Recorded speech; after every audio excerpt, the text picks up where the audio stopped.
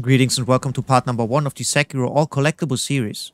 In this video we're going to cover all achievement related collectibles found between the dilapidated temple and the Ashina outskirts stairway idol.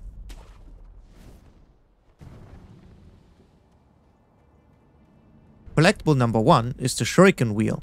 From the outskirts wall, Gate Path idol. Make your way over to the hole in the wall and as you enter check to your left. You will find a prosthetic tool on the corpse.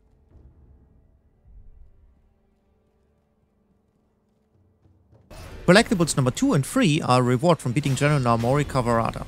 From the Shuriken Wheel, make your way into the open area right behind the gate. Fight the boss and claim the collectibles, Prayer Bead and Gourd Seed. For the full fight, click on the video here or the link in the description below. Collectible number 4 is the Young Lord's Bell Charm. After the general boss fight, clear out the area behind him of all enemies. As you make your way forward, you can spot a destroyed building with a woman staying on the top floor. Talk to her, and at the end of the dialogue she will hand you the Young Lord's Bell Charm. This is a mandatory item for multiple achievements because it lets you enter another area that is otherwise completely missable. We will cover this area in the next part, so stay tuned.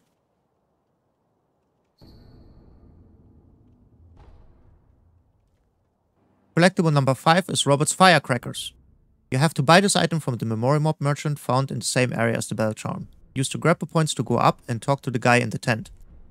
You will buy it for 500 sen. To cover the cost, you can just pick up the coin pouches in the area.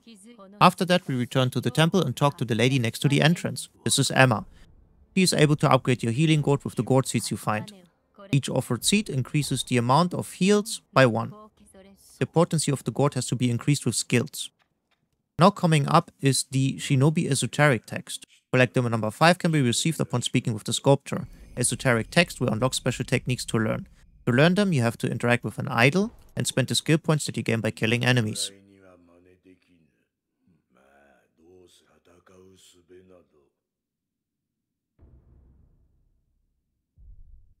And last but not least, now we are going to fit the shinobi tools we found into our prosthetic arm. To do so, talk to the sculptor and use the fit new prosthetic tool options to turn the items you found into the actual tool. And that is it for the video. If the video was helpful, leave a like and subscribe for more collectible guides, and I will see you in the next one.